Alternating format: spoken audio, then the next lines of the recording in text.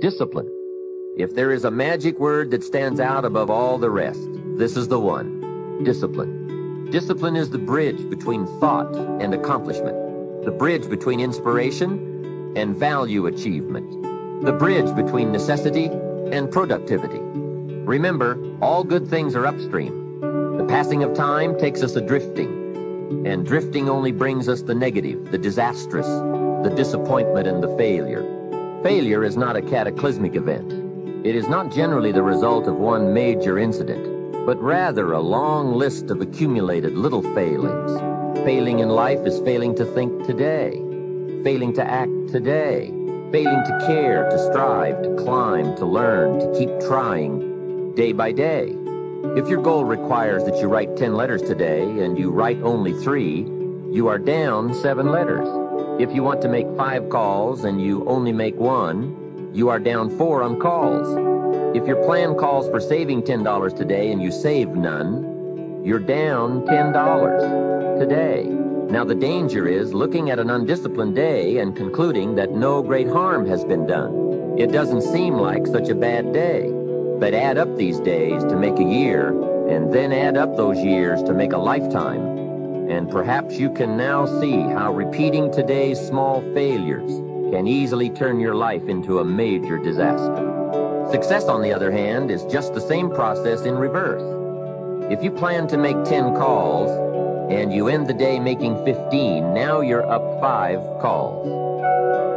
If you then get up a few on letters, move up the savings numbers, you can see what a massive difference it could make in a year and what wealth and accomplishment awaits for a lifetime.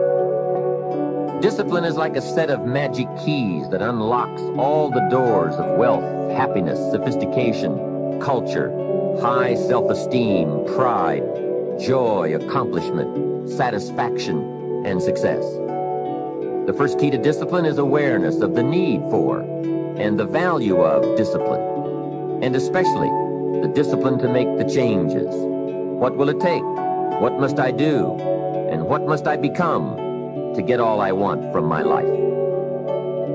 The second key is the willingness.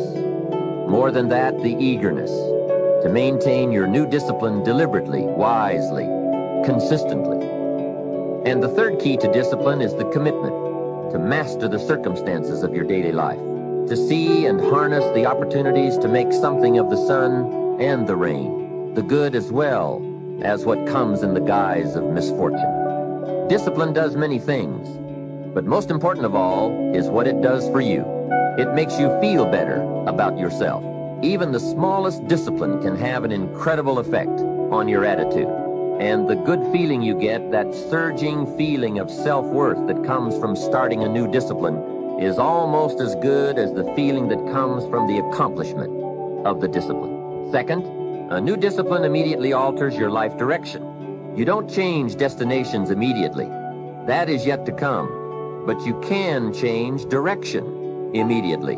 And direction is very important. Discipline cooperates with nature. Everything strives. It is a common life function. How tall will a tree grow? As tall as it can. Everything strives to become all it can possibly be. And that striving to become is what discipline is all about disciplining ourselves to fulfill our natural potential to become all that we can be. And finally, discipline attracts opportunity.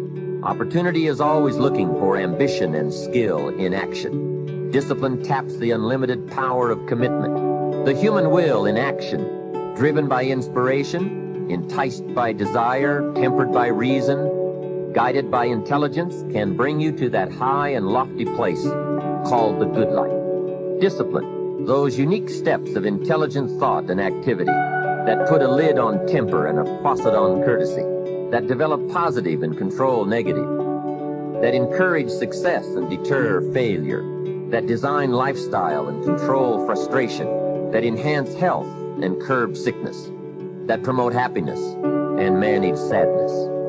Discipline, the start and the continuing process that brings all good things. And remember, Anyone can start the process. It's not if I could, I would. It's if I would, I could. If I will, I can. So start the new process. You can begin a new habit no matter how small it is. Small isn't important. Whether or not you start and whether or not you continue are all that is important. And don't be deluded by an affirmation. Only affirm what you are truly prepared to do. Many of us delude ourselves with our words into believing that we're making changes and making progress, when in fact our daily activity is taking us in the exact opposite direction of our affirmations. Why would you walk in the opposite direction of your dreams? The man dreams of wealth and walks daily towards certain financial disaster. The man wishes for happiness and thinks the thoughts and commits the acts that take him to certain despair. So to have a prosperous life, start a prosperity plan. To become wealthy, start a wealth plan. Remember, you don't have to be wealthy to have a wealth plan. A person with no means can have a rich plan. If you are ill, start a health plan. If you don't have energy, start an energy plan. If you don't feel good, start a feel-good plan. If you're not smart, start a smart plan. If you can't, start a can plan. If you haven't, start a have plan. Anyone can. Even a bad person can start hearing good messages and reading good books. Recognize that the start of the better life, the happy life, the wealthy life, is today. This is exciting. Both the process and the result can begin today. Start the new journey today. If you think of a new idea, today is the day to begin the discipline of putting that idea into action. Set this day up as a long, busy, exciting start for your new life. Get your first book for your new library today. Begin your new practice of setting goals today.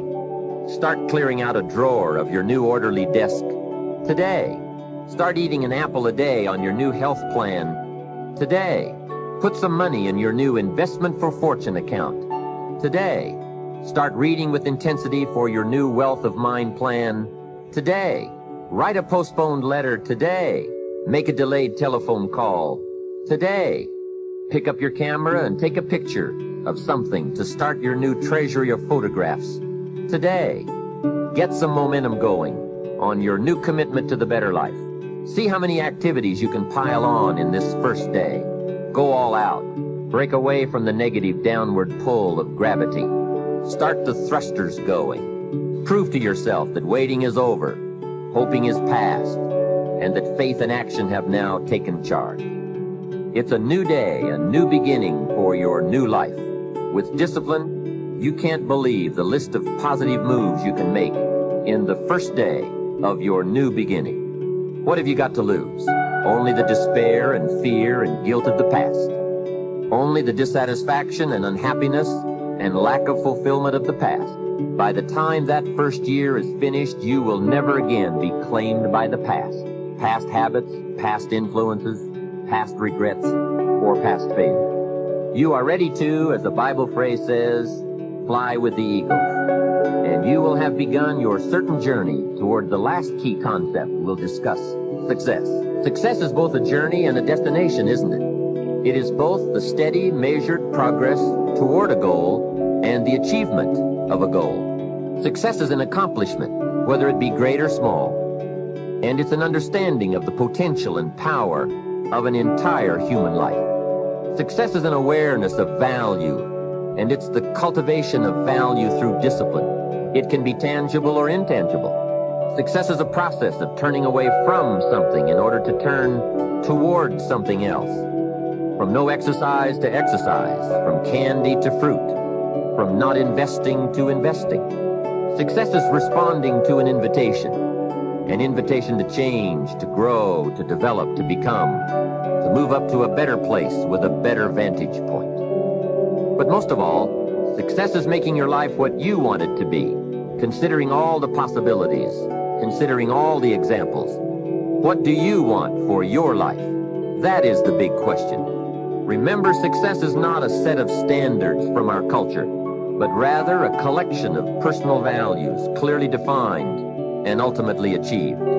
Success is your better life for you, the design you give it, the dreams you accomplish, making your life what you want it to be for you that is success.